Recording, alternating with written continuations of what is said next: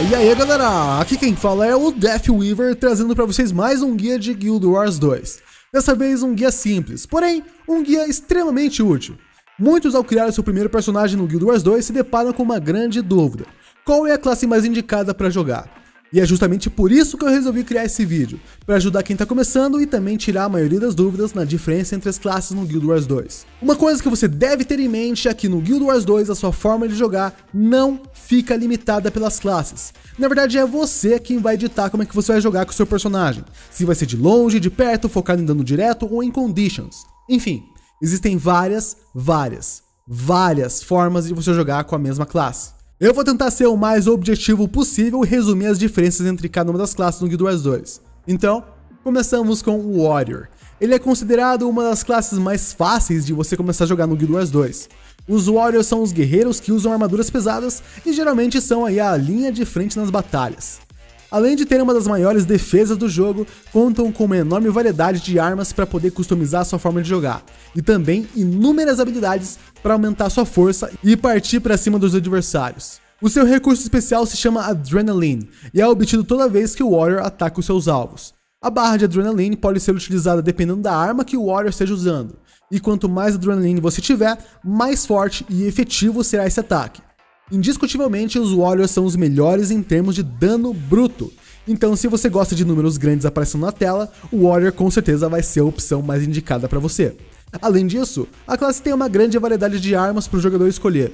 Isso vai impactar completamente no estilo do jogo e permite que o jogador tenha uma liberdade sem igual para mudar a forma que joga com seu personagem. Outro ponto importante é que os Warriors não são brilhantes apenas na quesito solo, mas também ótimos para se ter no time. Ao usarem seus shouts e banners, eles podem ajudar a aumentar o dano do grupo inteiro. As specs do Warrior são Strength, Arms, Defense, Tactics, Discipline e Berserker. Essa é exclusiva por Heart of Thorns. Temos também o Spellbreaker, que é exclusiva para a expansão Path of Fire.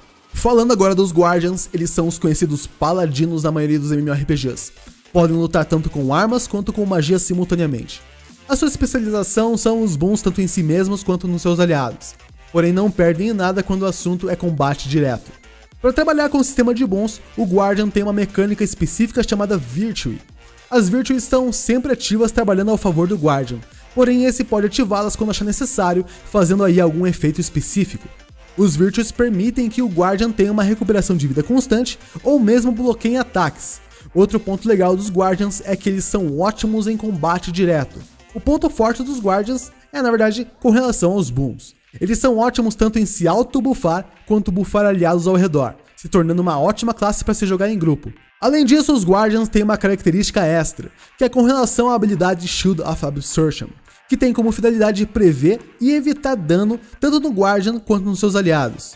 As specs do Guardian são Zeal, Radiance, Valor, Honor, Virtues, Dragon Hunter, que é exclusivo da expansão Heart of Thorns, e o Firebrand, que é exclusivo da expansão Path of Fire. Pulando agora pro Ranger, essa classe é o famoso pau pra toda obra, com armas e habilidades que ajudam o jogador a se adaptar a qualquer situação. Rangers podem lutar a curta, média ou longa distância, dependendo da arma que escolham. Ao equipar adagas, o Ranger pode lutar a curta distância com ataques rápidos e ter um ótimo arranque. Equipando uma espada de duas mãos, os Rangers podem se manter a curta distância, só que jogando muito mais dano no alvo com suas poderosas espadadas. Além disso, se achar necessário, o Ranger também pode equipar um Short Bow e atacar a média distância com golpes extremamente rápidos e ágeis. Ou quem sabe, se você quiser sacrificar a velocidade por dano, você pode equipar um Longbow e ter maior distância possível e atacar muito forte os seus alvos. Além dessa ótima versatilidade, os Rangers contam com um animal que irá acompanhá-lo e ajudá-lo nas lutas, podendo ter um bicho ativo por vez e a possibilidade de trocar rapidamente para outro. Assim como o Ranger, os seus animais também terão habilidades específicas. O animal que acompanha o Ranger tem diversas finalidades, podendo ser útil tanto em forma de dano direto, ou também como cura, ou quem sabe removedor de conditions, ou mesmo CC e assim por diante. As specs do Ranger são Marksmanship, Skirmishing, Wilderness Survival, Nature Magic, Beast Mastery, Druid, exclusiva essa para a expansão Heart of Thorns, e o Soul Beast, exclusiva para a expansão Path of Fire. Thief é a clássica classe do ladrão e assassino, contando com uma abertura extremamente forte, ótima mobilidade e também ótima saída. Os Thieves são mestres de entrar e sair de combate, sem duplo sentido, tá bom? Batendo muito forte no seu alvo e aproveitando todas as oportunidades disponíveis. Diferente de outras classes, os Thieves têm várias mecânicas específicas, entre elas o Steel. Ao ativar o Steel, o Thief teleporta para perto do alvo e rouba uma habilidade dele, que vai ser determinada pelo tipo de criatura ou então classe que foi roubada. Outra singularidade do Thief é que ele não possui sistema de cooldown das suas habilidades, o que pode ser um pouquinho estranho para muitos novatos na classe. Para manter a ordem, o Thief gasta o recurso Initiative para poder usar as suas habilidades. A classe conta com diversas habilidades de mobilidade, que permitem que o jogador se mantenha em cima do alvo, atacando sempre, ou então consiga escapar facilmente de batalha. E é claro, o óbvio também deve ser dito. A invisibilidade é um ponto muito positivo para os Thieves, já que o jogador vai ter sempre a iniciativa na luta. Sempre será o Thief que irá abrir a luta e não o contrário. As specs do Thief são Deadly Arts, Critical Strikes, Shadow Arts, Acrobatics, Trickery, Daredevil, exclusiva para expansão Heart of Thorns, e Dead Eye, exclusiva para expansão Path of Fire. Engineer no Guild Wars 2 é uma classe bem diferente quando se comparada a outras em outros MMORPGs. Apesar de não ter tanta variedade de armas comparada a outras classes, o Engineer conta com um kit de utilidades muito interessante, e vai desde granadas até um lança-chamas. A mecânica de luta única que os engineers possuem é o seu cinto de ferramentas. Em vez de equipar uma única habilidade de cura ou utilidade para cada slot, os engineers podem equipar um par de habilidades, sendo uma equipada nos slots normalmente e outra no cinto de ferramentas. O Engineer tem acesso a um absurdo número de bons e habilidades de suporte. Eles também são uma das classes mais efetivas em acumular conditions no alvo. Apesar dos Engineers terem apenas 3 combinações de armas, as suas Weapon Kits mudam a sua arma atual quando ativadas, trocando uma habilidade de utilidade em até 5 habilidades diferentes. Você pode trocar entre Weapon Kits livremente, já que não tem um cooldown para troca, como tem em armas convencionais. As specs do Engineer são Explosives, Firearms, Inventions, Alchemy, Tools, Scrapper, exclusiva para a expansão Heart of Thorns, e Hollow Smith, exclusiva para a expansão Path of Fire. À primeira vista, você pode pensar que a classe Elementalist é a típica classe mago do jogo, que fica parada castando suas magias e esperando o alvo morrer. Porém, se você for jogar de Elementalist com esse pensamento, você definitivamente não vai se dar bem, e é bem provável que você fique frustrado. Elementalist é uma das classes mais complexas do Guild Wars 2, junto com o Engineer. Diferente de muitas classes, o Elementalist apenas pode usar um set de armas por vez, sem a possibilidade de trocá-las durante a luta. Entretanto, a classe conta com quatro elementos: fogo, água, vento e terra. Cada elemento traz consigo 5 novas habilidades, totalizando 20 habilidades ao todo, sem contar com as habilidades no slot de cura e utilidade. Cada elemento também tem uma determinada função. Por exemplo, enquanto que a terra é mais usada para sangramento no alvo e também melhorar a sua própria defesa, o vento vai ajudar no dano concentrado e também na velocidade de movimento. Outro ponto a ser falado é que o elementalista está constantemente trocando de elementos. O combo de habilidades de diferentes elementos é algo característico dos elementalistas e muito recompensador caso seja dominado.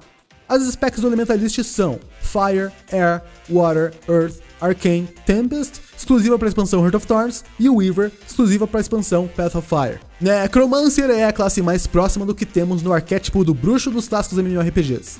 A classe conta com uma larga e versátil gama de habilidades para poder pressionar o seu alvo, tendo um estilo de jogo bem característico desse tipo de classe. Além disso, ela também conta com uma mecânica muito curiosa chamada Death Shroud, que quando usada fornece ao Necromancer uma barra nova de habilidades e também funciona como uma segunda barra de vida. A Life Force, como é chamada a barra de vida do Death Shroud, vai se enchendo quanto mais criaturas ou jogadores morrerem perto do Necromancer, ou então quando ele usar algumas habilidades específicas. Ao ativar o Death Shroud, mesmo que o jogador não receba dano, a sua Life Force vai aos poucos decaindo. Chegando em zero, volta à forma do Necromancer normal. Graças ao Death Shroud, o Necromancer possui muita sobrevivência, já que vai ter duas barras de vida e também pode usar habilidades de controle para poder escapar de situações de risco. Essa é uma das classes com maior diversidade de builds que funcionam no jogo atualmente. Existem desde Necromancers voltado para dano em conditions, ou seja, dano por tempo, como também Necromancers focado em cura e suporte aliados. Conditions é praticamente o meta atual, e os Necromancers são considerados a melhor classe para Conditions no Guild Wars 2.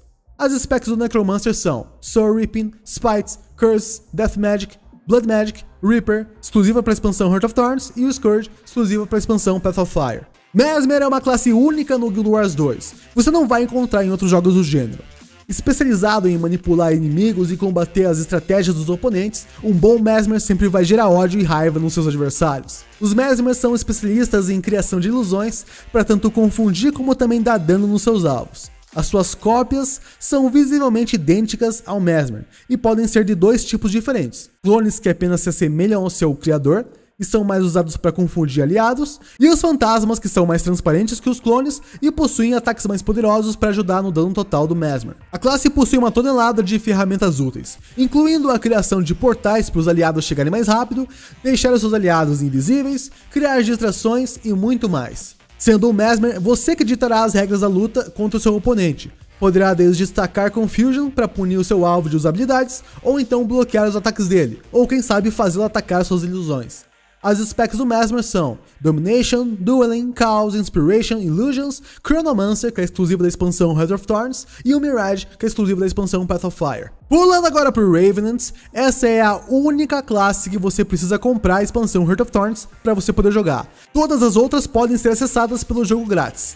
O Revenant pode canalizar as névoas para invocar os poderes de certas figuras lendárias do passado, podendo ter até duas Legendary Stances equipadas. Ao canalizar essa energia, as habilidades do Revenant são modificadas, abrindo um leque enorme de formas diferentes para você jogar com a classe. Com a stance do assassino, o Revenant ganha muita mobilidade, permitindo uma função de dano mais direcionada e ágil. Com a stance do demônio, o Revenant ganha controle nas conditions, retirando dos aliados e colocando nos inimigos. Com a extensão do dragão, Revenant ganha acesso a um vasto leque de boons que podem ser usados para o grupo todo.